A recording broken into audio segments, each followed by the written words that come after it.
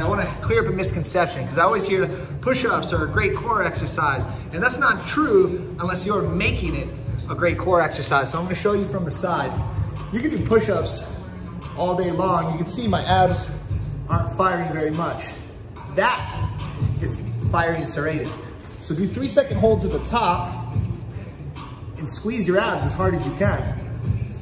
Release, stretch, come up, squeeze. Squeeze all the way down into those obliques.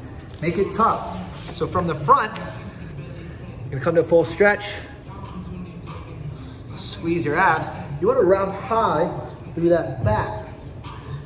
Chest stretch, squeeze. When you can't get any more holds, your time under tension reps, apex of exertion.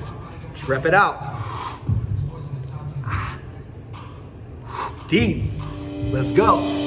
That's how you turn up.